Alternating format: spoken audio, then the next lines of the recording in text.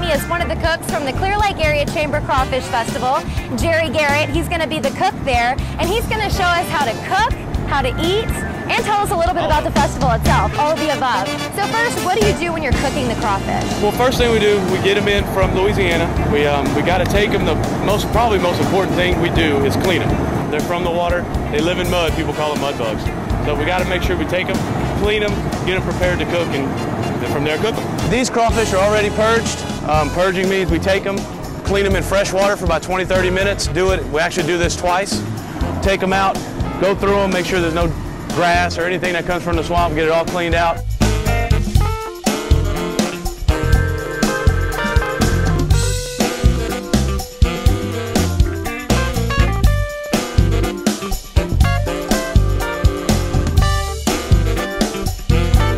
All right, we're getting ready to eat some crawfish. Are y'all ready? I'm ready. All right, let's How go. do you do it. What do we All right, first you're gonna take one. Just grab your crawfish. Okay.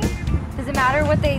Mm, no, Doesn't, doesn't matter. okay. All we got to do, you want to break. Beginner. Yeah, you want to break the tail from the head. Okay. Which I like to do. There you go. You squeeze it, tear it from the head. This is the fun part. This is the best part. I don't know if you're gonna do it. Take it. You squeeze the head at the same time as you're sucking it.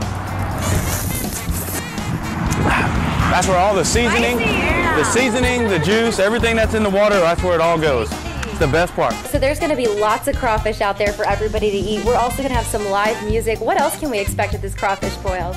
Well, on Friday night, our hours are 6 to 10, and on Friday night, we basically just have crawfish, soft drinks, beer, and music. On Saturday, it's everything. On Saturday, we have a silent auction all day. We have uh, arts and crafts. We have crawfish eating contests. We have gumbo cook-off teams, uh, a whole bunch of those.